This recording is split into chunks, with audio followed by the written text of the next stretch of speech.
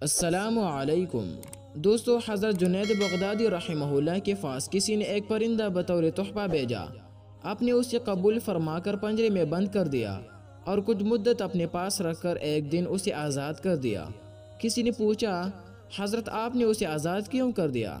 آپ رحمہ اللہ نے فرمایا، مجھے اس پرندے نے بڑی منت سے کہا تھا۔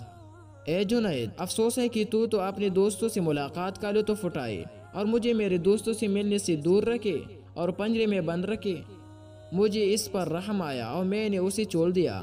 الٹے وقت وہ کہنے لگا، پرندہ یا جانور جب تک اللہ کے ذکر میں مصروف رہتا ہے، آزاد رہتا ہے اور جی ہاں اس پر غفلت تارے ہوتے ہیں، قید میں مفتلا ہو جاتا ہے۔ اے جنید، میں یاد الہی سے صرف ایک دن غافل رہا تھا، جس کی سزا میں مجھے پنجرے کی سخت سزا بگتنا پڑی۔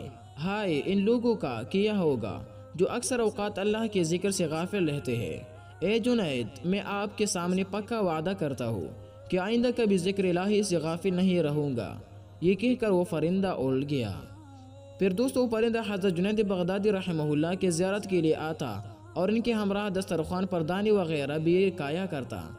جب حضرت جنید بغدادی رحمہ اللہ کی وفات ہوئی تو یہ پرندہ بھی زمین پر گر کر اسی وقت مر گیا۔ اس لیے لوگوں نے جنید بغدادی کے قریب اس پرندے کو دفن کیا۔ بعد وصال کسی نے خواب میں دیکھا تو پوچھا، آپ کا کیا حال ہے؟ انہوں نے جواب دیا، چونکہ اس پرندے پر میں نے رحم کیا تھا، اس لیے اللہ نے مجھ پر بھی رحم کیا۔